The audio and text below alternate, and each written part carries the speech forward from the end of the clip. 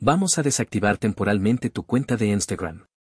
Ahora, si usted quería tomar un descanso de Instagram, es fácil hacerlo a la derecha en la propia aplicación.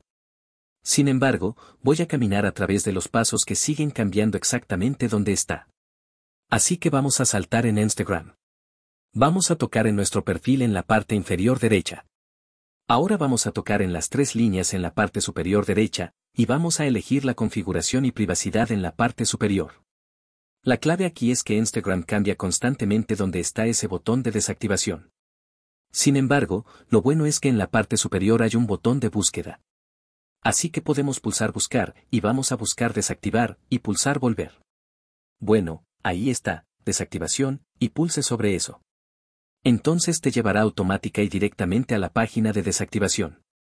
No importa dónde lo pongan, si lo cambian, lo reorganizan, siempre encontrará exactamente dónde está ese botón.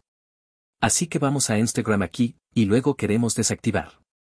Vamos a darle a continuar. Ahora te pedirá que introduzcas tu contraseña. De nuevo, usaré mi Face ID e introduciré mi contraseña.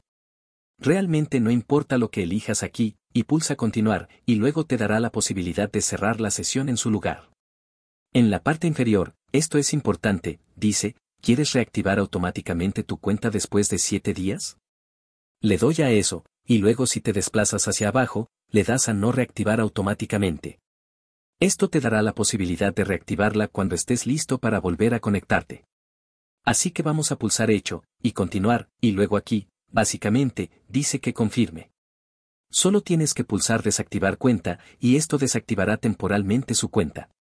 Si quieres recuperarla, básicamente para recuperar y restaurar tu cuenta, todo lo que necesitas hacer es ir a la aplicación, la aplicación de Instagram, o a la página web, instagram.com, e iniciar sesión en tu cuenta, y eso reactivará automáticamente tu cuenta.